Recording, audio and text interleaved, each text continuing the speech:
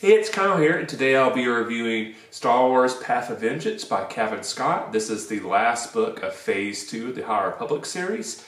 Um, and I'll say overall, I really enjoyed this book a lot. I thought it was a great, um, very satisfying conclusion to Phase 2 of the High Republic series.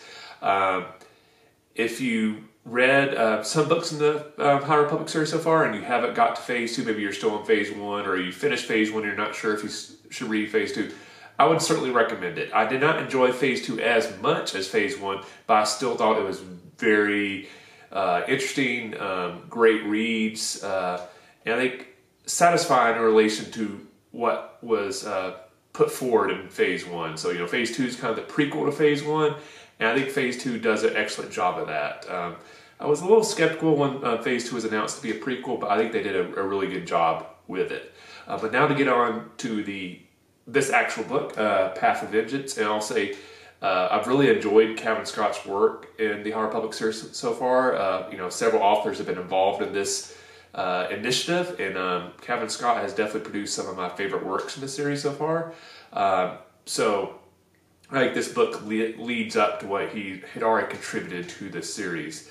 Uh, a few elements of the book I really enjoyed before I kind of get into the more of the plot details, uh, which I won't go into super detail in case you haven't read it yet, but kind of the basic stuff. But I really enjoyed what uh, Cavan Scott did with the um, sisters uh, Marda and Yana Rey. Uh, I really um, enjoyed um, the characters a lot when they are first introduced in Phase Two, and then we don't really get a whole lot of them the rest of the books until this book.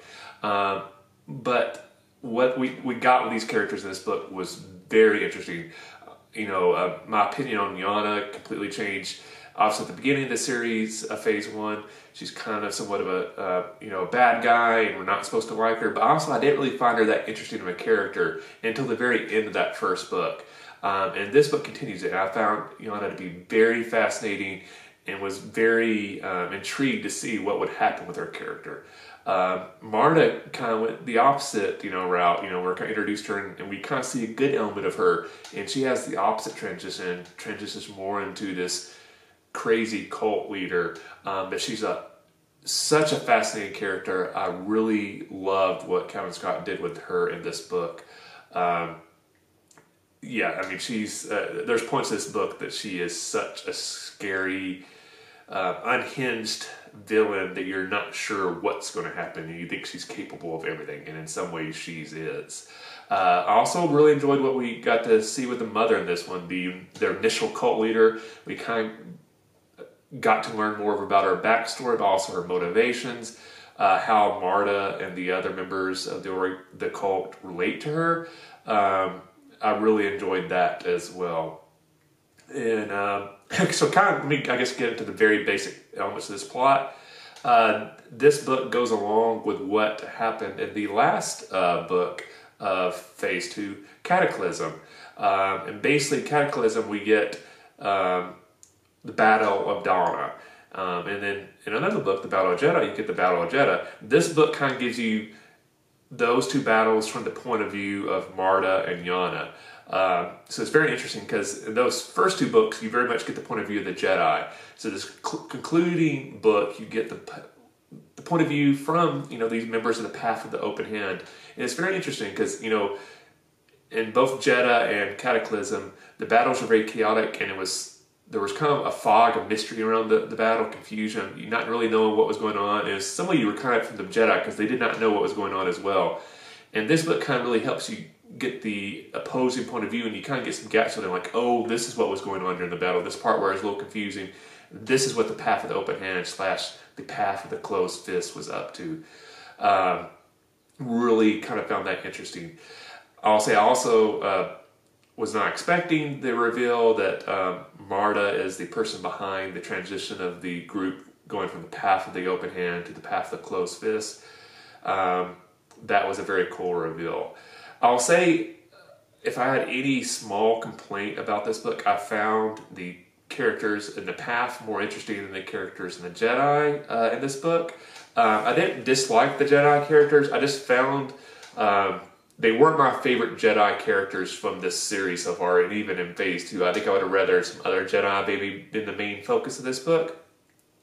Um, so I didn't really tend to enjoy the Jedi side of the storyline as much in this book as I did the stories that was focusing on the Rose sisters. In fact, uh, honestly, I would probably would have preferred even more um, looking at their storyline and interacting together and kind of their splitting and then coming back together and then splitting and coming back together. Um, so if I had one small complaint about this book, that would be my complaint. Uh, but Marda, such an amazing character.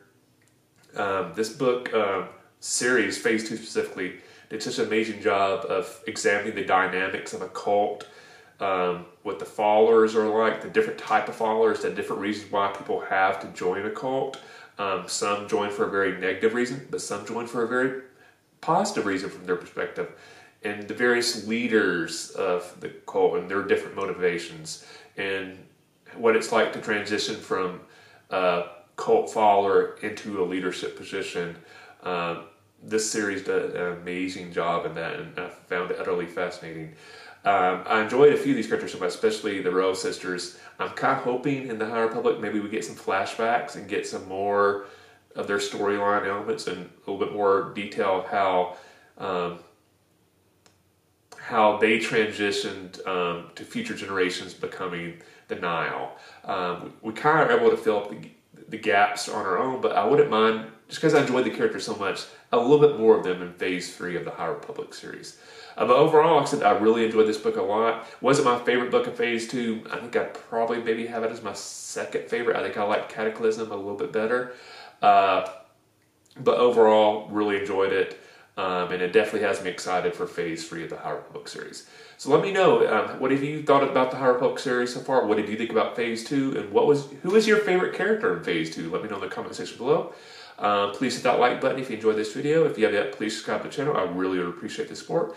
Thanks for watching. I'll see you the next time. Happy reading, and may the force be with you.